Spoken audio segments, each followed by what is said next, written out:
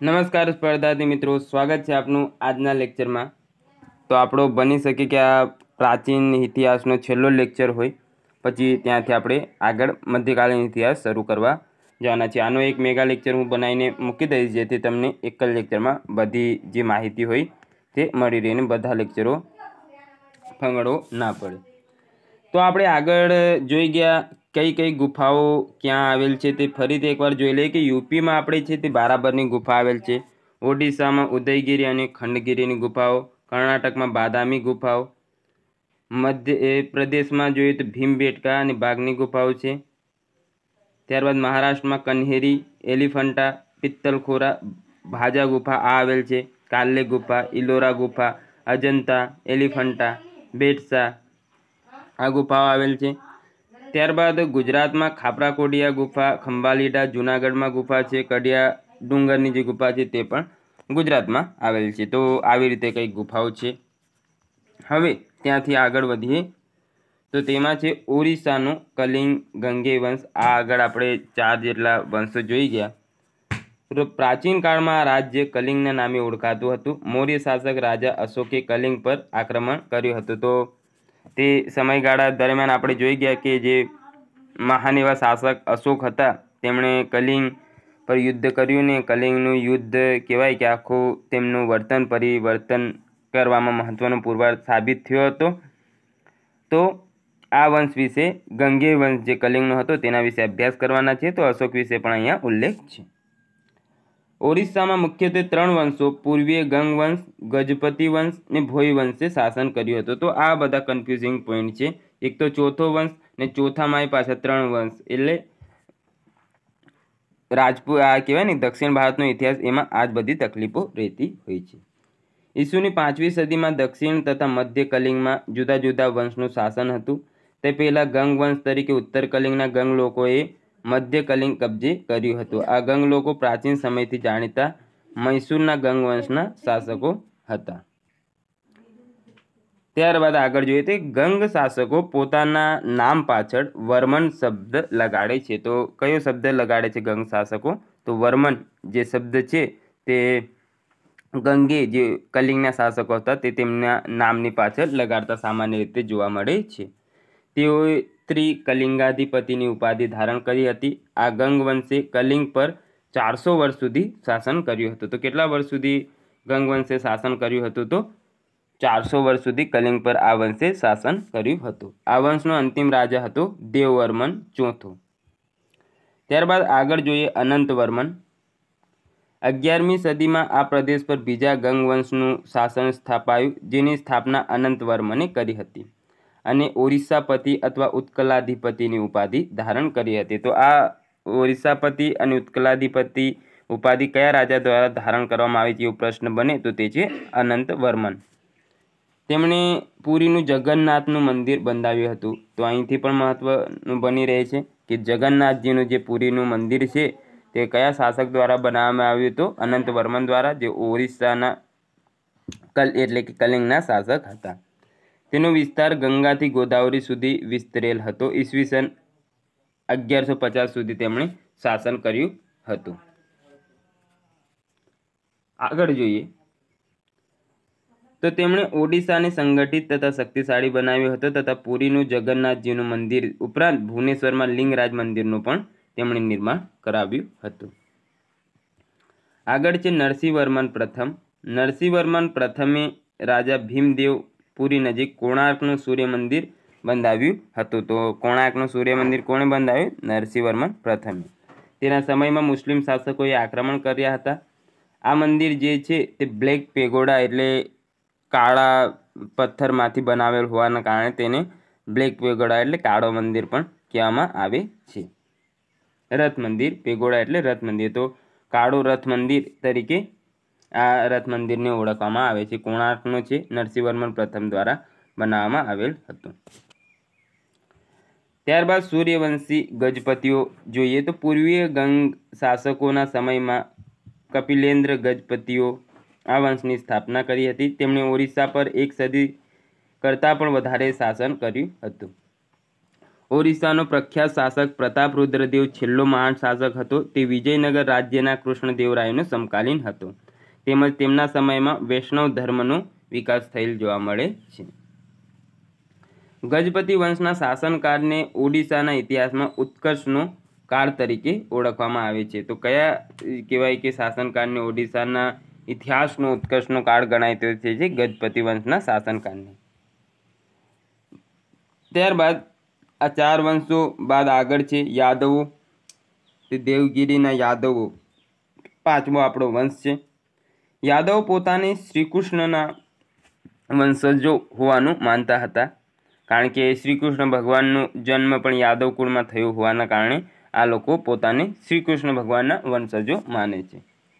તેઓ દસમી સદીમાં સત્તા પર આવ્યા હતા.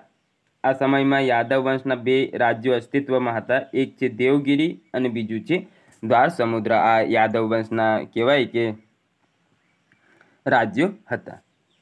દ્વાર સમુદ્રમાં હોયસલ વંશનું શાસન હતું, જેની રાજધાની મૈસૂર રાજ્યોમાં આવેલ દ્વાર સમુદ્ર વર્તમાન હાલેબીડ હતી.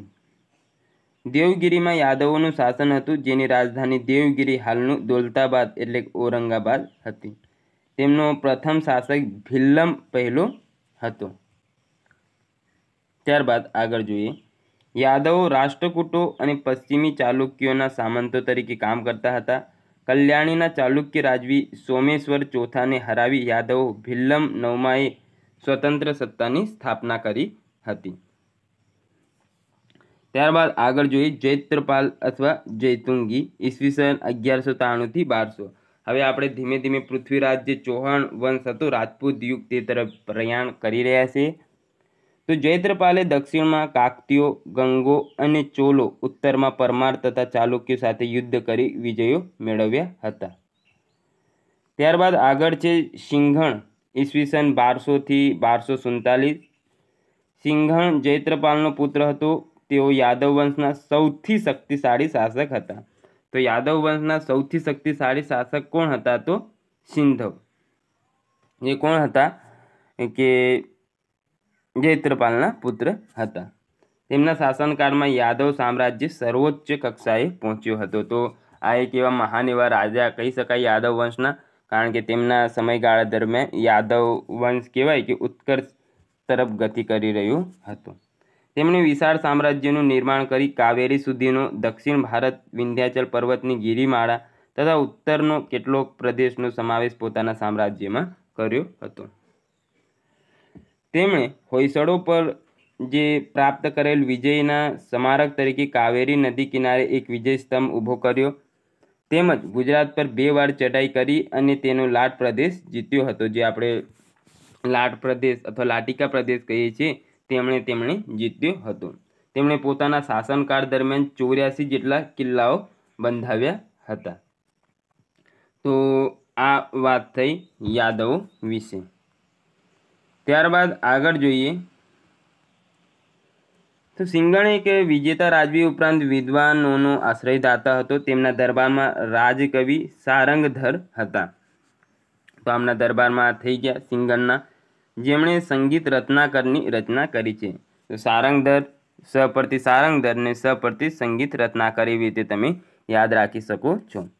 તેમણે ભાસ્કરાચાર્ય લખેલા સિદ્ધાંત શિરોમણી તથા જ્યોતિષ સંબંધી ગ્રંથોના અધ્યયન માટે એક કેન્દ્રની સ્થાપના પણ કરી હતી.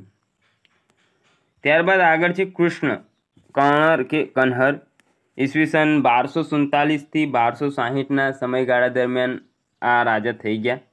તો સિંગણનું અવસાન થતાં તેમના પુત્ર તેમજ જૈતંગી રાજાનો પુત્ર કૃષ્ણ ગાદીએ આવ્યો.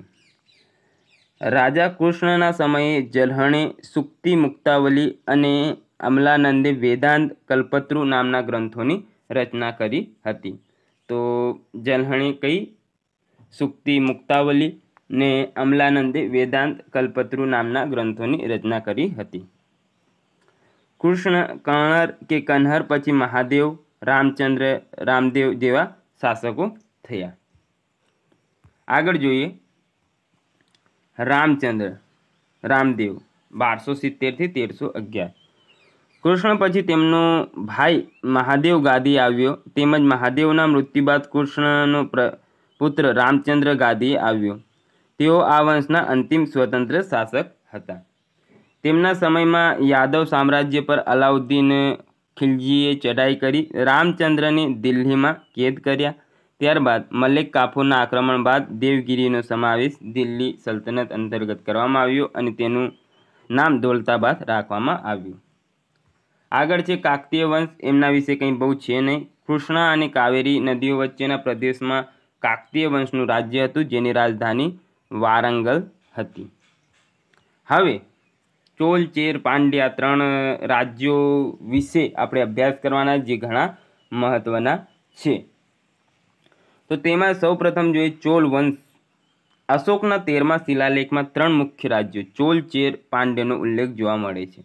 એટલે આપણે ગણના કરી શકીએ કે આ ઘણા જૂના રાજવંશો હતા. કારણ કે અશોકના સમયગાળા દરમિયાન ઈસવીસન પૂર્વે આપણે ત્રણસો એકવીસમાં જોઈ ગયા છે અશોક. એટલે ત્યાર પછી તો અત્યારે આ ઘણી દૂર પહોંચી ગયા છે. તો બારસોથી પંદરસો વર્ષ જેટલો જૂનો આ વંશ આપણે કહી શકીએ છીએ. તેમનો જે તેરમો શિલાલેખ છે તેમાં ત્રણ વંશો. કયા કયા? તો ચોલ, ચેર, પાંડ્યનો ઉલ્લેખ આપણને જોવા મળે છે. તો તેમાં આપણે જોઈએ.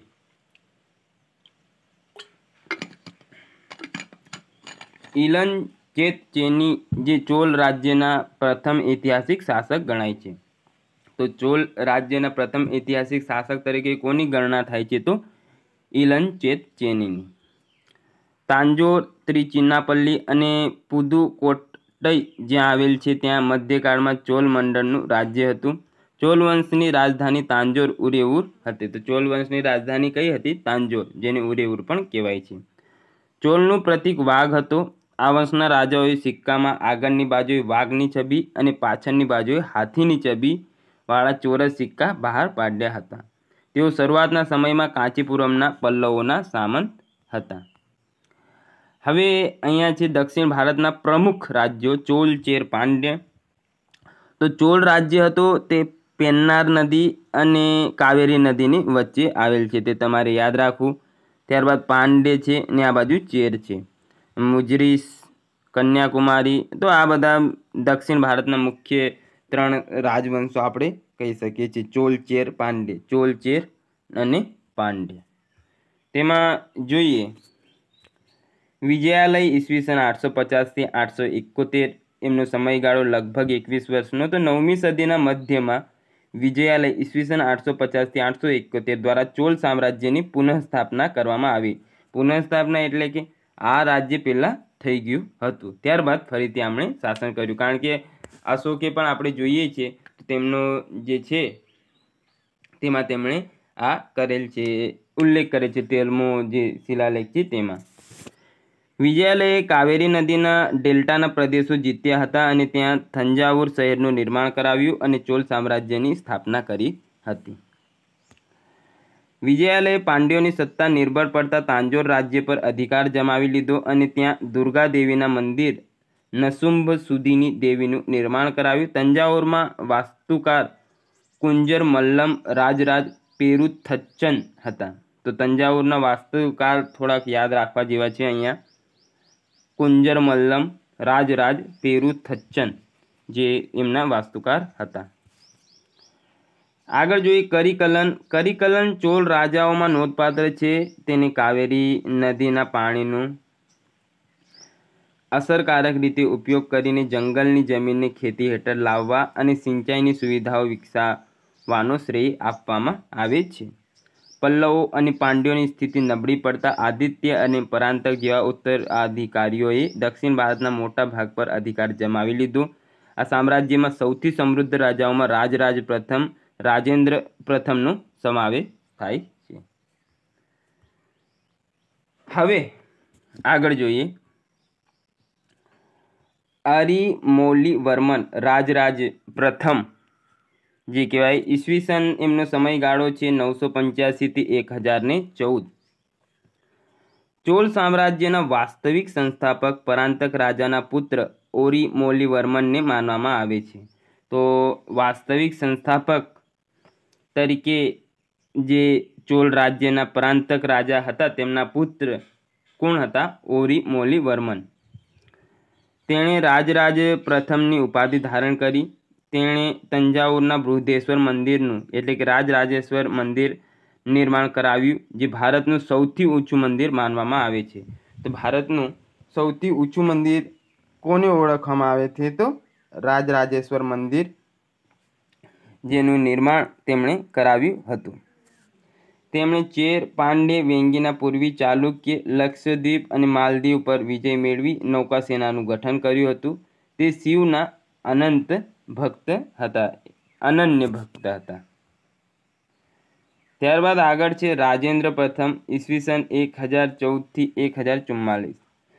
ચોલ વંશના રાજરાજ પ્રથમ પછી રાજેન્દ્ર પ્રથમ નામના મહાન શાસક થઈ ગયા, જેઓ દક્ષિણના નેપોલિયન તરીકે ઓળખવામાં આવે છે. એટલે દક્ષિણના નેપોલિયન તરીકે કોને ઓળખવામાં આવે છે? તો રાજેન્દ્ર પ્રથમને ઓળખવામાં આવે છે. તેઓ મોહમ્મદ ગજનીના સમકાલીન હતા. તેઓ શિક્ષણના મહાન આશ્રયદાતા હોવાથી પંડિત ચોલ નામથી પણ જાણીતા છે.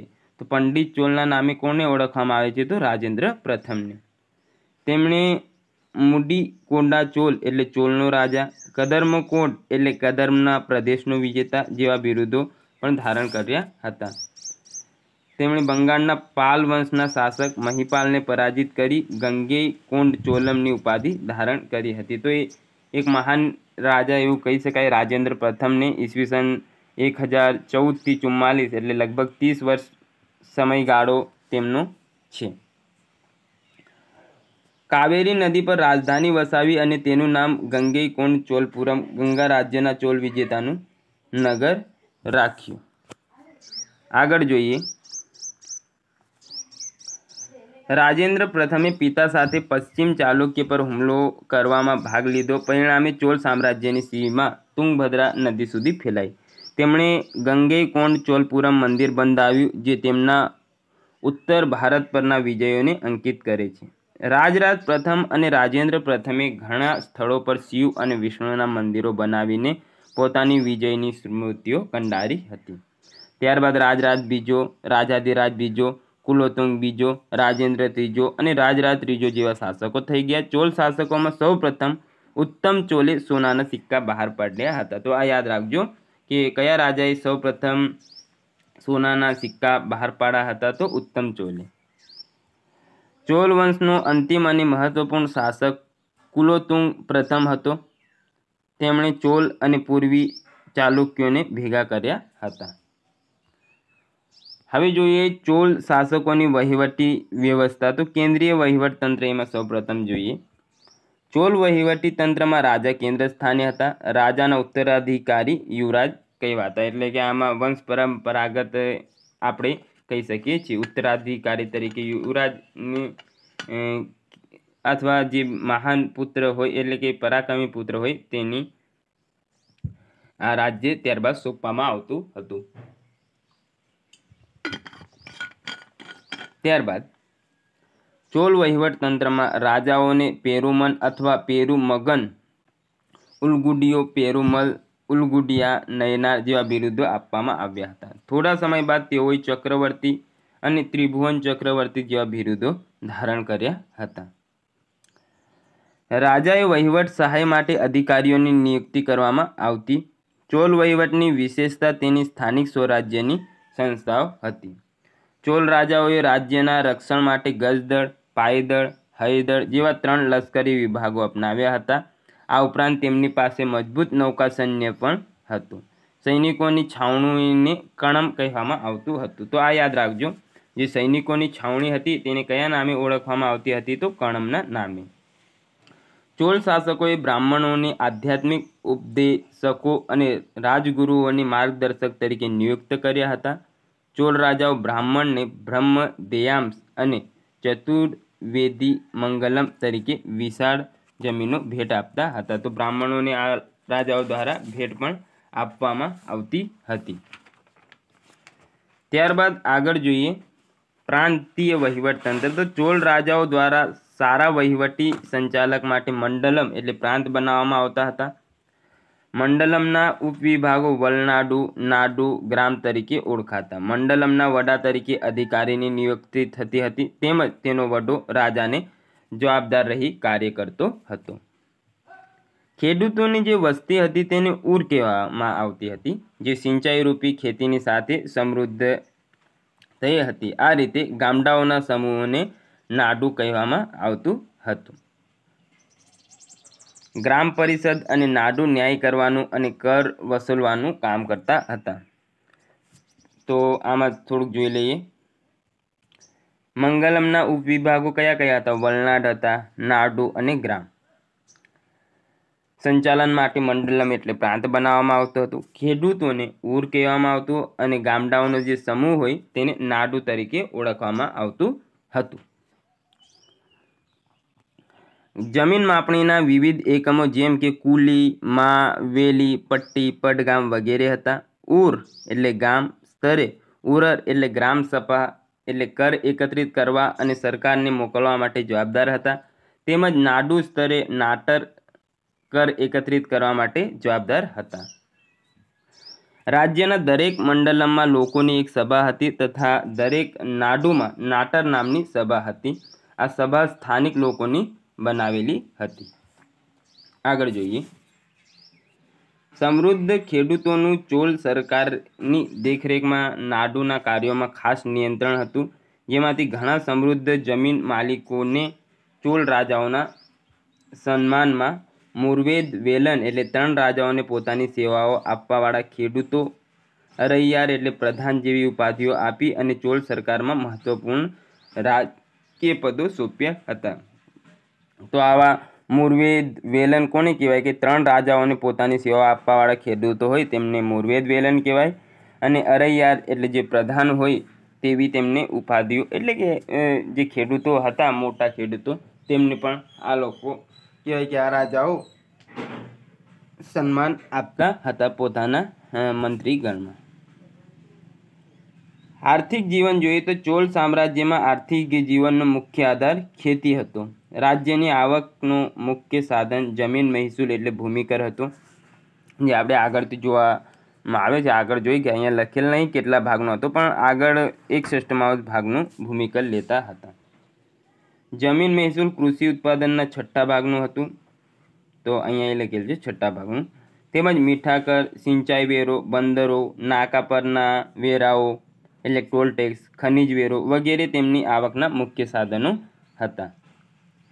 આ ઉપરાંત મકાન ઉપર છાપરું નાખીએ તો તેના માટે પણ કર લેતા. ખજૂર કે તાડના વૃક્ષ પર ચડવા માટે પણ આ લોકો કર લેતા. પારિવારિક સંપત્તિનો ઉત્તરાધિકારી બનવા માટેનો કર જેવા કરોનો ઉલ્લેખ જોવા મળે છે. એટલે કે ઘણા બધા કરો છે. મકાન પર છાપરું હોય એ આપણે કોઈ વૃક્ષ પર આ છે તાડ છે, ખજૂર પર ચડીએ તો તેના માટે કર. કોઈ ઉત્તરાધિકારી ઘોષિત કરે તો તેના પર એ કર. તો આવી રીતે ઘણા બધા કર હતા. એક ષષ્ઠમાંશ ભાગના આંતરિક અને બાહ્ય વેપાર પણ જોવા મળે છે. વેપાર બે મહાજન જેવા જૂથો દ્વારા કરવામાં આવતો હતો. અંજુ, વનત્તર અને મણિ ગ્રામત્તર. ચોલ સામ્રાજ્યમાં અગ્નિ એશિયા, રોમ અને યુરોપના દેશો સાથે વ્યાપારિક સંબંધો હતા. વ્યાપાર માટે મદુરાઈ, કોચી, તિરુવનંતપુરમ એટલે ત્રિવેન્દ્રમ, તંજાવુર, તાંજોર જેવા બંદરોનો ઉપયોગ થતો હતો. આ બંદરોમાંથી અત્તર તેજાના સુતરાઉ કાપડ, કાચ, હાથીધાત અને અન્ય ધાતુઓની આયાત નિકાસ થતી હતી. ત્યારબાદ આગળ જોઈએ ધાર્મિક જીવન. તો ચોલ વંશના શાસકો સ્વયં ધર્મના અનુયાયી હતા. આ કાળમાં મંદિરો ધાર્મિક પ્રવૃત્તિઓનું મુખ્ય કેન્દ્ર ગણાતા હતા. તો આ કહેવાય કે ચોલ વંશના શાસકો મુખ્યત્વે શૈવ ધર્મ સાથે સંકળાયેલ હતા. તેમણે શિવને બે સ્વરૂપમાં રજૂ કર્યા હતા. શિવનું પ્રતિકાત્મક સ્વરૂપ એટલે લિંગોદભાવ અને નટરાજની મૂર્તિ માનવ સ્વરૂપમાં એમણે દર્શાવી હતી. જે નટરાજ નૃત્ય કરે છે, શિવ ભગવાન એમને નટરાજ કહેવામાં આવ્યા છે, તો તેમની મૂર્તિ આપણને જોવા મળે છે. તેમણે ધર્મને પ્રોત્સાહન આપવા માટે જમીનો ભેટમાં આપી. રાજરાજ પ્રથમની ફેસ્કો પેઇન્ટિંગમાં તેમના પત્ની સાથે બૃદેશ્વર મંદિરમાં શિવની પૂજા કરતા દર્શાવવામાં આવેલ છે. ભગવાન શિવના કાર્યોની પ્રશંસામાં સ્ત્રોતો શૈવ સંતો અને ભજનો નયનારો દ્વારા રચવામાં આવ્યા હતા, જેને નાંબિયા દર નાંબીએ એકીકૃત કર્યું હતું, જે થિરુમુરાઈ તરીકે ઓળખાય છે. તો આ ભજનો અને બધા જે એકત્રિત કરવામાં આવ્યા, તેમને કયા નામે ઓળખવામાં આવે છે? તો થિરુમુરાઈના નામે. ત્યારબાદ આગળ જોઈએ આપણે, તો સ્થાપત્યોમાં ચોર કાળમાં તત્કાલીન દ્રવિડ સ્થાપત્ય શૈલીનો વિકાસ થયો. આ સમયમાં શ્રી નિવાસ નલ્લુર, કોરગનાથ મંદિર અને પુટ્ટુકોટ્ટોઈ મંદિરોનું નિર્માણ થયું હતું. દસમી સદીની શરૂઆતથી મોટા અને ગોપુરમ ધરાવતા મંદિરોના નિર્માણની શરૂઆત આ સમયગાળા દરમિયાન થઈ હતી. તાંજોર ખાતે રાજરાજ પ્રથમે બનાવેલ બૃહદેશ્વર મંદિર ચોર સ્થાપત્ય કળાનું ઉત્તમ નમૂનું છે.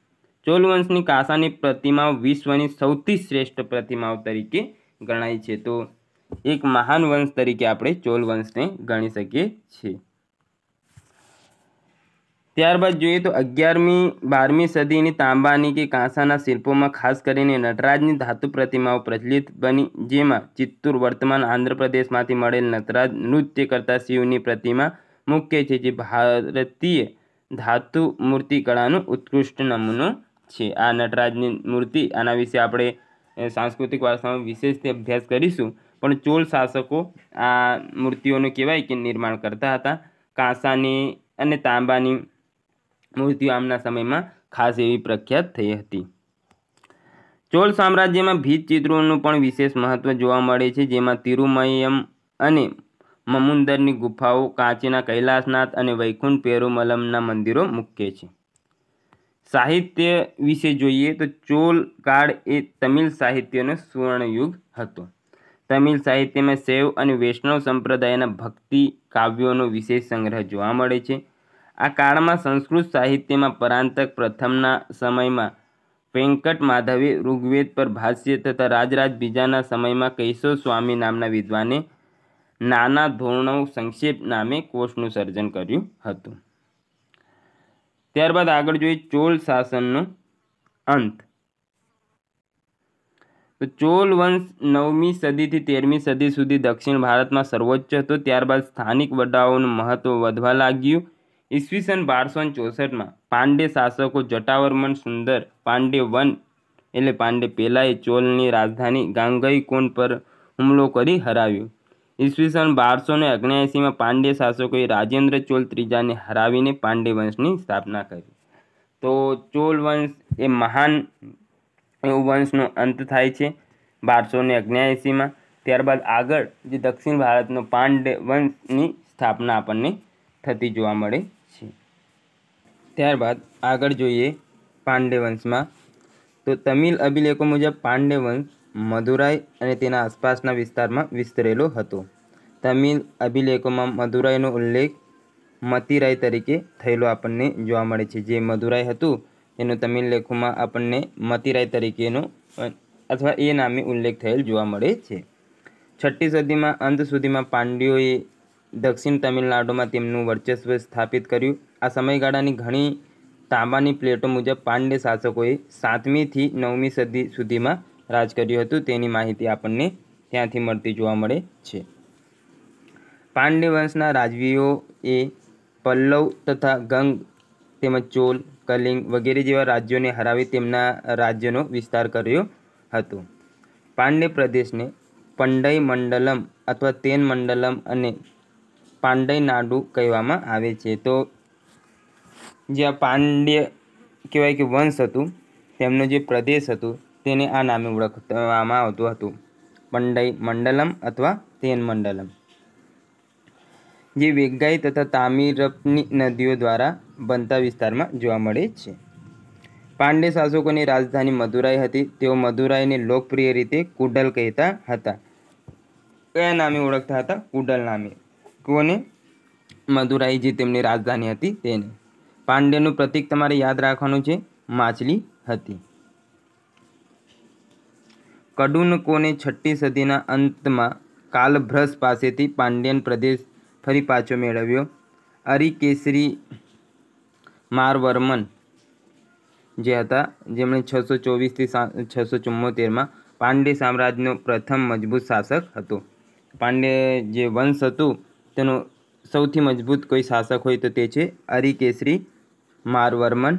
એમનો સમયગાળો લગભગ છસો ચોવીસથી ચુમ્મોતેર સુધી આપણે લઈએ તો પચાસ વર્ષ સુધીનું ગણી શકાય છે. તેઓ મહેન્દ્રવર્મન પ્રથમ અને નરસિંહવર્મન પ્રથમના સમકાલીન હતા. ત્યારબાદ આગળ જોઈએ તો ચોલ વંશના પતન, ચોલ રાજા અધિ, રાજેન્દ્રના મૃત્યુ બાદ પછી પાંડે સામ્રાજ્યની તેરમી સદીમાં અગ્રણી તમિલ વંશ બન્યું હતું. એટલે જે ચોલ વંશ હતું તેનું પતન થઈ ગયું. ત્યારબાદ જો કોઈ કહેવાય કે તમિલ જે વંશો હતા તેમાં અગ્રણી હોય તો એ હતું પાંડ્ય વંશ સદૈવર્મન જટાવર્મન જેને કહેવાય છે તે. સુંદર પાંડ્યન ઈસવીસન બારસો એકાવનથી બારસો અડસઠના સમયમાં પાંડ્ય સામ્રાજ્યના તેના સર્વોચ્ચ સ્તરે પહોંચ્યું હતું. ત્યારબાદ મારવર્મન, કુલશેખરન મહત્ત્વના શાસક થઈ ગયા, જેમણે આશરે ચાલીસ વર્ષ સુધી શાસન કર્યું હતું. તેમનું સામ્રાજ્ય ઉત્તરમાં નેલોરથી દક્ષિણમાં લંકા સુધી વિસ્તરેલ આપણને જોવા મળે છે. તેમના સમયમાં વેનિસના માર્કોપોલોએ દક્ષિણ ભારતની મુલાકાત આવ્યા હતા. માર્કોપોલોએ પાંડે સામ્રાજ્યને વિશ્વના સૌથી ધનિક અને સૌથી ભવ્ય પ્રાંત તરીકે બિરદાવ્યું છે. તો કહેવામાં આવે કે સૌથી ધનિક અને ભવ્ય પ્રાંત તરીકે માર્કોપોલોએ કોને બિરદાવ્યું છે? તો જે કહેવાય કે આ પાંડે શાસક હતા તેમના સમયમાં તેમણે આ નામે બિરદાવ્યું છે. ત્યારબાદ અલાઉદ્દીન ખિલજીના સુબા મલિક કાપુરના આક્રમણથી પાંડે સામ્રાજ્યનો અંત આવ્યો. તો પાંડે સામ્રાજ્યનો અંત કરનાર કોણ હતા? અલાઉદ્દીન ખિલજી, જેમના સુબા મલિક કાપુર હતા.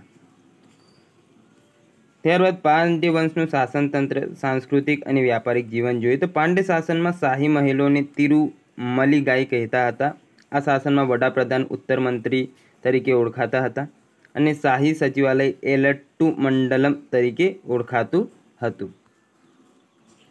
પાંડે સામ્રાજ્યમાં પૂર્વ કિનારાનું સૌથી વ્યસ્ત બંદર અને શહેર કાયલ પટ્ટિનમ એટલે હાલ જેને થુતુકુડી નામે ઓળખવામાં આવે છે તે છે.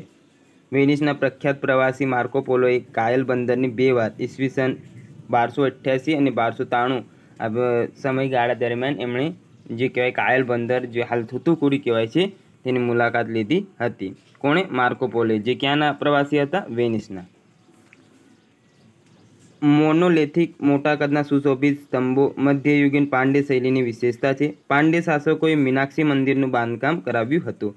તો આ યાદ રાખજો, મીનાક્ષી મંદિરનું બાંધકામ કોના દ્વારા કરાવવામાં આવ્યું હતું? તો પાંડે શાસકો દ્વારા. અને મંદિરો ઉપર ગોપુરમ અને વિમાન બાંધવાની અલગ શૈલી પણ તેમણે વિકસાવેલ આપણને જોવા મળે છે. ત્યારબાદ આગળ જોઈએ તો એ છે ચેરવંશ. આ સમયે તમિલથી અલગ થયેલા એક ભાગ પર ચેરવંશનું શાસન હતું. ચેરનું બીજું નામ કેરળ અથવા મલયાલમ તરીકે પણ ઓળખવામાં આવે જે જીસીઆરટી મુજબ છે. આયન ચેરવંશના પ્રથમ શાસક હતા અને સેતુગવન ચેર શાસકોમાં સર્વશ્રેષ્ઠ શાસક હતા. આ થોડુંક જ છે ચેરવંશ વિશે, એટલે થોડુંક યાદ રાખજો. આયન જે હતા તે ચેરવંશના પ્રથમ શાસક અને સેતુગવન એ ચેર શાસકોમાં સર્વશ્રેષ્ઠ હતા. અશોકના શિલાલેખમાં ચેર શાસકોનો કેરળ પુત્ર તરીકે ઉલ્લેખ થયેલ આપણને જોવા મળે છે. તેમની રાજધાની તમિલનાડુનું વેન્સી હતું, જેને કરોડ તરીકે ઓળખવામાં આવે છે. જ્યારે કેરળમાં તેને તિરુવચાઈ કલમ તરીકે ઓળખવામાં આવે છે. ત્યારબાદ સાંસ્કૃતિક પરિસ્થિતિની આપણે ચર્ચા કરીએ આગળ, તો ગુપ્ત સામ્રાજ્યના પતન બાદ સમગ્ર ભારતમાં નવી સાંસ્કૃતિક પરિસ્થિતિઓ ઉદ્ભવી જેનાથી ભારતની વર્તમાન ભાષા, કલા અને સાહિત્યનો ઉદ્ભવ થયો. આ સમયે ભારતમાં અલગ અલગ વિસ્તારમાં પ્રાદેશિક ભાષાઓ ઉદ્ભવી, જેમાં બંગાળી, ઉડિયા, મરાઠી, અસમી વગેરેનો સમાવેશ થાય છે. આ સમયમાં સંસ્કૃત ભાષાનું મહત્ત્વ ઓછું થતું તથા અન્ય ભાષાઓમાં સાહિત્યની રચના થઈ, જેમાં તમિલ ભાષામાં રચાયેલ કવિ કદમનું રામાયણ અને કવિ પંપાનું કન્નડ સાહિત્ય અને મહાભારતનું તેલુગુ અનુવાદનો સમાવેશ થાય છે. તો કહેવાય કે આજે દક્ષિણ ભારતના રાજવંશો હતા. તે ગાળા દરમિયાન સંસ્કૃત ભાષા ધીમે ધીમે નીચે આવવા લાગી અને આવી રીતે કન્નડની જે ભાષા હતી તેનું વર્ચસ્વ ધીમે ધીમે વધવા લાગ્યું હતું. ત્યારબાદ આ સિવાય સંસ્કૃત ભાષામાં કથા સરિત સાગર રાજતરંગિણી અને ગીત ગોવિંદમ જેવા મહત્ત્વના ગ્રંથોની રચના થઈ. આ સમયમાં મંદિર નિર્માણની નાગર, દ્રવિડ અને બેસર ત્રણેય શૈલીઓનો વિકાસ થયેલા આપણને જોવા મળે છે. ત્યારબાદ આગળ જોઈએ. ઉત્તર ભારત, ગુજરાત, મધ્યપ્રદેશ અને ઓડિશાના વિસ્તારોમાં નાગર શૈલીનું પ્રચલન હતું.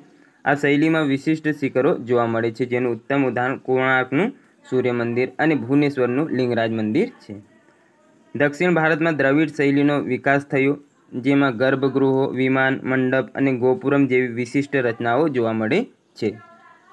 ચોલ રાજાઓના સમયમાં આ શૈલીનો મહત્તમ વિકાસ થયો, જેમાં રાજરાજ ચોલે તંજાવરમાં બનાવેલ બૃહદેશ્વર મંદિરનો સમાવેશ થાય છે. તો બૃહદેશ્વરમાં જે તંજાવુરમાં બનાવેલ બૃહદેશ્વરનું મંદિર કોણે બનાવ્યું? તો રાજરાજ ચોલે. આ થોડીક મિસ્ટેક થઈ ગઈ મારા બોલવામાં. રાજરાજ, આ તંજાવુરનું જે બૃહદેશ્વર મંદિર કોના દ્વારા બનાવવામાં આવ્યું છે? એવું પૂછે તમને તો તે છે રાજરાજ ચોલ દ્વારા. આ આપણે વારસામાં એ જોવાના છીએ આગળ. ચોલ કલાકારોએ તાંબામાંથી બનાવેલ ભગવાન શિવને નૃત્ય કરતા દર્શાવતી નટરાજની મૂર્તિ વિશ્વવિખ્યાત છે. પટ્ટકલમાં આવેલ મંદિરો બેસર શૈલીમાં નિર્માણ પામેલા છે, જે ચાલુક્ય કાળની કલાનો નમૂનો છે. ત્યારબાદ દક્ષિણ ભારતના પ્રાચીન નગરો જોઈએ તો તમિલ સાહિત્ય અને વિદેશી પ્રવાસીઓના વૃત્તાંત પરથી દક્ષિણ ભારતના પ્રાચીન નગરોની માહિતી મળે છે. હવે એમાં કયા કયા નગર છે? પુમપુહાર, પુહાર, કાવેરી અને પુમપટ્ટીનમ. પુમપુહાર નગર દક્ષિણ ભારતનું ચોલ વંશનું એક પ્રાચીન ધબકતું બંદર હતું. કેટલાક તમિલ સાહિત્ય જેવા કે શિવપદ્દિકારમ પતિતિપ્લાય મણિમેખલાઈમાં આ બંદરના ઝડપી વ્યાપાર વિકાસનું વર્ણન છે. શિલ્પદ્દિકારમના મુખ્ય પાત્રો કનગી અને કોવલન છે. કનગીના પિતા મનાઈગન અને કોવલનના પિતા માસુથુ વનનના નામ પર બંદરના વેપારીઓએ મનાઈગન અને માસુથુ વનન નામથી ઓળખવામાં આવે છે. તો આ કહેવાય કે પ્રખ્યાત હતા તે સમયમાં જે પણ વ્યક્તિઓ, તો તેમના નામ પરથી આમણે આ જે બે બંદરો છે, મનાઈગન અને માસુથુ વનન આમના નામ પરથી બનાવેલ છે. ત્યારબાદ આગળ જોઈએ કે ગ્રીસ અને રોમના કેટલાક વ્યાપારીઓ પુમપુહાર બંદરે આવ્યા હતા અને અમુક વેપારીઓ અહીં સ્થાયી થયા હતા, જેથી ભાષા, સંસ્કૃતિ અને સમાજમાં વિવિધતા પણ જોવા મળે છે. વિદેશી પ્રવાસીઓ સ્થાનિક લોકો જોડે વાતચીત કરતા, કરવા માટે તમિલ ભાષા શીખ્યા હોવાનું પણ વર્ણન મળ્યું છે. ઈસવીસન પૂર્વે બીજી સદીમાં કદિયાલુર ઉરુતિરંગન્નાર દ્વારા લખાયેલી પુસ્તક પતિતિપ્લાયમાં આ બંદરના આયાત અને નિકાસનું વર્ણન છે. સમુદ્ર માર્ગે ઘોડા આયાત કરવામાં આવતા હતા. મરીને જમીન માર્ગે આયાત કરવામાં આવતી આવ, જે મરી આપણે મરચાંનો ઉપયોગ કરીએ છીએ તેને જમીન માર્ગે અને સમુદ્ર માર્ગે જે કહેવાય કે ઘોડાઓનું આયાત નિકાસ કરવામાં આવતું હતું આ બંદરો પરથી. તમિલનાડુના વડામલાઈ ખાતેથી સોનું વિદેશોમાં નિકાસ કરવામાં આવતું હતું. પશ્ચિમ ઘાટમાંથી ચંદન, પૂર્વીય દરિયાકાંઠેથી પરવાળા, દક્ષિણી સમુદ્રમાંથી મોતી અને ઇલમ જે હાલનું શ્રીલંકા છે, ત્યાંથી ખાદ્ય સામગ્રી આયાત કરવામાં આવતી હતી. ત્યારબાદ આગળ જોઈએ તો મદુરાઈ. મદુરાઈ દક્ષિણ ભારતનું પ્રાચીનતમ નગરોમાંનું એક છે. મદુરાઈને સંગમ વલથી નગર તરીકે ઓળખવામાં આવે છે. મદુરાઈ પર પાંડે ચોલ અને કલાબ્ર રાજાઓએ શાસન કર્યું હતું. ગ્રીક ઇતિહાસકાર મેગેસ્તનીસ એ ઇન્ડિકામાં અને ચાણક્યએ અર્થશાસ્ત્રમાં મદુરાઈની ભવ્યતાનું વર્ણન કરેલ છે, જે કહેવાય કે ચંદ્રગુપ્ત મૌર્યના સમયમાં આ ગ્રીક મેગેસ્તનીસ આવ્યો હતો. તેમણે તેમના પુસ્તક છે, ઇન્ડિકા, એમાં અને ચાણક્ય જે ચંદ્રગુપ્ત મૌર્યના ગુરુ હતા, તેમના દ્વારા આ જે બંદર છે, તેની ચર્ચા કરવામાં આવેલ છે. મદુરાઈમાં તમિલ ભાષામાં ઉત્કર્ષ માટેના સંગમો ભરાતા હતા. અહિલ નામનું સુગંધિત લાગડું થોડી બંદરેથી મંગાવવામાં આવતું હતું. પ્રાચીન ઇઝરાયેલના રાજા સોલોમન દ્વારા મદુરાઈ નજીક ઉવારી અને કોરખાઈ બંદરેથી મોતી મંગાવવામાં આવતા હતા. આગળ જોઈએ મદુરાઈમાંથી રોમન સિક્કાઓની ટંગશાળા મળી આવી છે. મદુરાઈમાં સુરંગ મળી આવી છે, જેમાંથી હાથી પણ સરળતાથી પસાર થઈ શકતા હતા. તો આટલી મોટી સુરંગ આપણને મદુરાઈમાંથી જોવા મળી, જ્યાંથી હાથીએ સરકી શકે એવા હતા. તે એના પરથી આપણે ધારી શકીએ કે આ સમયે ગુપ્ત માર્ગ હોઈ શકે છે. ભારતના દક્ષિણ પૂર્વ એશિયા સાથેના સંબંધો. તો ઈસવીસન પૂર્વે પાંચમી સદીથી ભારત અને પૂર્વ એશિયા વચ્ચેના સંબંધની શરૂઆત થઈ. હાલનું જાવા તે સમયનું સુવર્ણદ્વીપ તરીકે ઓળખાતું હતું. પ્રાચીન બૌદ્ધ સાહિત્યમાં ભારતીયોની સુવર્ણદ્વીપની યાત્રાઓનું વર્ણન જોવા મળે છે. પૂર્વ એશિયાના થાઇલેન્ડ, વિયેતનામ અને ઇન્ડોનેશિયા જેવા દેશમાંથી પ્રાચીન ભારતીય વસ્તુઓના પુરાવા આપણને પ્રાપ્ત થાય છે. કૌડિન્ય નામના ભારતીય બ્રાહ્મણે કંબોડિયામાં પ્રથમ વખત શાસન સ્થાપ્યું હતું તથા ઈસવીસન પાંચમી સદીમાં ભારત અને પૂર્વ એશિયામાં દેશો વચ્ચે વ્યાપારી સંબંધો સ્થાપિત થયા હતા. ત્યારબાદ ઈસવીસન આઠમી સદી બાદ ભારતીય શાસકો પૂર્વ એશિયામાં શાસન કરતા થયા. આગળ જોઈએ તો આ સમયે ભારતમાંથી ઇલાયચી ચંદનના લાકડા અને લવિંગ જેવી વસ્તુઓની નિકાસ થતી હતી. ભારતમાંથી બ્રાહ્મણ અને બૌદ્ધ ધર્મના લોકો પૂર્વ એશિયામાં સ્થળાંતરિત થયા અને ત્યાં આ ધર્મનો પ્રસાર કર્યો. ઈસવીસન આઠમી સદીમાં જાવા, સુમાત્રા અને અન્ય દક્ષિણ પૂર્વી દેશોમાં શૈલેન્દ્ર વંશનું શાસન સ્થપાયું. આ વંશના સ્થાપકો બૌદ્ધ ધર્મ પાળતા હતા, જેમાંથી એક શાસક નાલંદાના બૌદ્ધ મઠ તથા જાવામાં વિશ્વવિખ્યાત બોરોબદરના બૌદ્ધ મંદિરોનું નિર્માણ કરાવ્યું હતું. આ શાસકો પાસે તેમની વિશિષ્ટ નૌસેના હતી. ઈસવીસનની બારમી સદીમાં કંબોડિયાના શાસક સૂર્યવર્મન બીજાએ ભગવાન વિષ્ણુનું અંકોરવાટનું મંદિર બનાવ્યું. આ મંદિરમાં ગોપુરમ તથા મંદિરની દિવાલ પર રામાયણ અને મહાભારતના કથા સાથે સંકળાયેલ શિલ્પો છે. તો કંબોડિયામાં કહેવાય કે અંકોરવાટનું સૌથી મોટું કહેવાય કે હિન્દુ મંદિર એવું આવેલ છે. તો અહીંયા આપણું પ્રાચીન ભારત પૂર્ણ થાય છે. આનો એક મેગા લેક્ચર બનાવીને હું અપલોડ કરી દઈશ. હવે આપણે નેક્સ્ટ જે લેક્ચરો આવશે એમાંથી મધ્યકાલીન, પછી આધુનિક એવી રીતે આગળ ચાલુ રાખીશું. તો મળીએ નવા લેક્ચરમાં ત્યાં સુધી જોડાયેલા રહો.